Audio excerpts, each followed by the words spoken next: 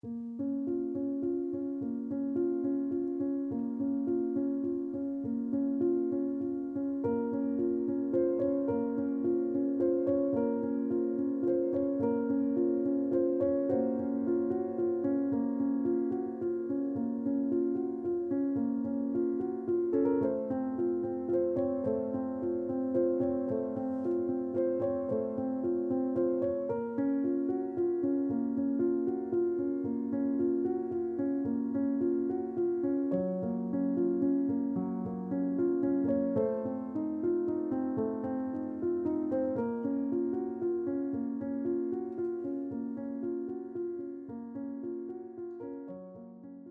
heute den Großteil des Tages mit Lernen beschäftigt und deswegen möchte ich mir jetzt zum Abschluss des Tages noch einmal ein bisschen Zeit für mich nehmen und in mein Tagebuch schreiben. Ich habe jetzt vor ein paar Tagen mein altes Tagebuch vollgeschrieben. Das ist wirklich prall gefüllt mit irgendwelchen Geschichten aus meinem Leben. Und weil ich jetzt hier mit einem neuen Buch angefangen habe, bin ich irgendwie wieder richtig motiviert und freue mich, da jetzt die Seiten zu füllen.